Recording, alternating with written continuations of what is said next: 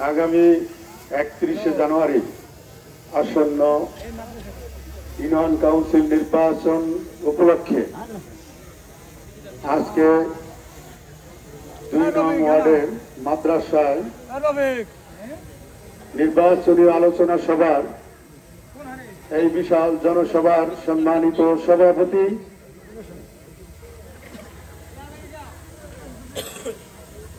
দুই নং ওয়ার্ড তথা জাজিরার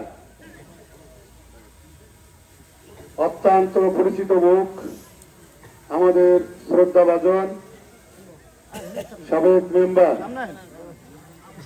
জনাব নূর মোহাম্মদ ব্যাপারী উপস্থিত রয়েছেন আমার পাশে এই দুই নং ওয়ার্ডের সাবেক মেম্বার বীর মুক্তিযোদ্ধা আপনার আমার সকলের অত্যন্ত পরিচিত মুখ জনাব আয়ুব ব্যাপারী উপস্থিত রয়েছেন আমার পাশে। আপনাদের এই দুই নং ওয়ার্ডের কৃতি সন্তান, জনাব আনোয়ার মাকবর উপস্থিত রয়েছেন। তার পাশে আপনারা চিনেন, যাকে নিয়ে আজকের এই আলোচনা যাকে নিয়ে একত্রিশে জানুয়ারি আমরা সর্বপ্রথম ঈশ্বরের চরের ভাগ্যের পরিবর্তন। এই ঈশ্বরের চর মানুষ ও মাটির নেতা। আমরা যাকে নিয়ে দেখি, আজকের এই আলোচনা সভায় গিয়ে উপস্থিত হয়েছেন। শনিচর ইউনিয়নের কৃতি সন্তান, বিশিষ্ট সমাজসেবক, বিশিষ্ট ব্যবসায়ী এক নং শনিচর এক নং ওয়ার্ডের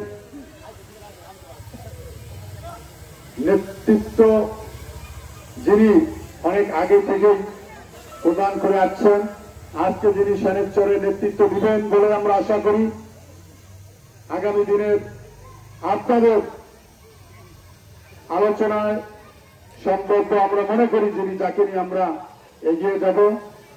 হাজি আব্দুল ওয়াহাব ফকির উপস্থিত রয়েছেন। এক নং ওয়ার্ডের তাদের ছাত্রনেতা, আমাদের এক নং ওয়ার্ড সদস্যের এক নং ওয়ার্ডের আমার শ্রেষ্ঠপদ ছোট ভাই আক্তার হাওলাদার। তার পাশে রয়েছেন আরেক ছোট ভাই, এক নং ওয়ার্ড সদস্যের সাবেক ছাত্রনেতা দাদন হাওলাদার। এর পাশে রয়েছে আমাদের এক নং ওয়ার্ডের সালাম বায়দি সাহেব, এরপরে আমার বাতিজা। আমার বাতিজা আপনার চিনেন আমার তালয়। রহমান হাওলাদার আমাদের সালাম হাওলাদারের সন্তান রহমান হাওলাদার। সামাদ হাওলাদারের সন্তান আমার অত্যন্ত শ্রদ্ধাভাজন আরও ব্যক্তি। রহমান হাওলাদার তার সন্তান। এরপরে ফকির বাড়ির আহ, আরেক কৃতি সন্তান। আমি সবার নাম আসলে ওইভাবে জানি না। এরপরে আহ, সাইদুর রয়েছেন আমাদের মরহুম সাবের আলী। ব্যাপারীর যোগ্য সন্তান সাইদুর এখানে রয়েছেন, পাশে রয়েছেন আমার ছোট ভাই আরেকজন যে আমাদের হামিদ হাওলাদারের সন্তান আমার ছোট ভাই। এ পাশে আমাদের আরেক বিজ্ঞ ব্যক্তি রয়েছেন। আমাদের, আমি যখন ছোট ছিলাম, তখন দেখছি তারা রাজনীতি, সমাজনীতির সাথে সম্পৃক্ত ছিলেন। আমাদের তালয়, মোতাহার মোল্লা তিনি ঢাকা থেকে এসেছেন, আমি ব্যক্তিগত পক্ষ থেকে তাকে ধন্যবাদ জানাতে চাই। আমি ফোনে বলেছিলাম তিনি উপস্থিত হয়েছেন এর জন্য। এর পাশে সালাম সামাদ হলাদার আপনারা বলেছি কিছুক্ষণ আগে আমার তালয়। এরপরে রয়েছেন ফারুক ফকির, আমার বিআই। এই তিন নং ওয়ার্ডের কৃতি সন্তান, অনেক আগে থেকেই উঠা বসা আমাদের সাথে, আমার আত্মীয় পরিচয় নাই দেখি। এই সেনেশ্বরের কৃতি সন্তান ফারুক ফকির। এরপরে রয়েছেন আমার এক আপনাদের এই দুই নং ওয়ার্ডের সাবেক মেম্বার তাহলে কবিরুদ্দিন হাওলাদার। তার পাশে রয়েছেন আমাদের এক নং ওয়ার্ডের সেনেশ্বরের এক নং ওয়ার্ডের যিনি এই বয়সে নেতৃত্ব দিতে পছন্দ করেন, আজাহার বয়সী। এরপরে রয়েছেন আরেকজন নেতা যিনি আমাদের এক নং ওয়ার্ডের সাবেক মেম্বার, জনাব মালিক মোল্লা। আমি সবাইকে দেখতে পাচ্ছি না, অনেক নেতৃবৃন্দ এখানে রয়েছেন। এখানে রয়েছেন ইসাক ভাই সহ আরও অনেক নেতৃবৃন্দ এখানে রয়েছেন।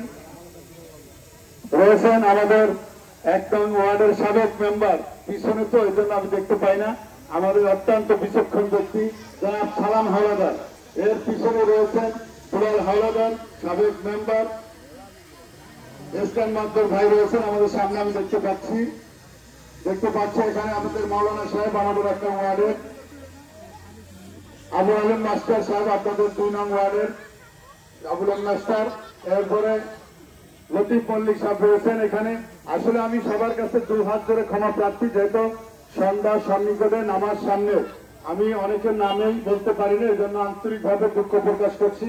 আমি দু একটি কথা বলে আজকে এখানে যারা রয়েছেন দুই নং নেতৃবৃন্দ রয়েছেন এক নং ওয়ার্ডের সকল ব্যক্তিত্ব স্থানীয় ব্যক্তিবর্গ এখানে উপস্থিত রয়েছেন।